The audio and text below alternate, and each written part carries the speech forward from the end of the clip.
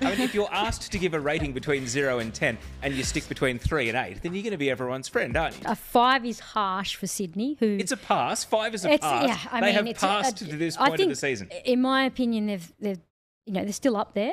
Uh, they're playing good football. Um, no, they're not playing at their absolute best yet, and nor should they. It's the only midpoint of the season. Let- let's but a at- if- five, if and you- you've given City an eight, who've lost to the same two teams Sydney have lost to. Victory is seven, who aren't anywhere near their best. I just find it interesting. And are both below Sydney FC on the table.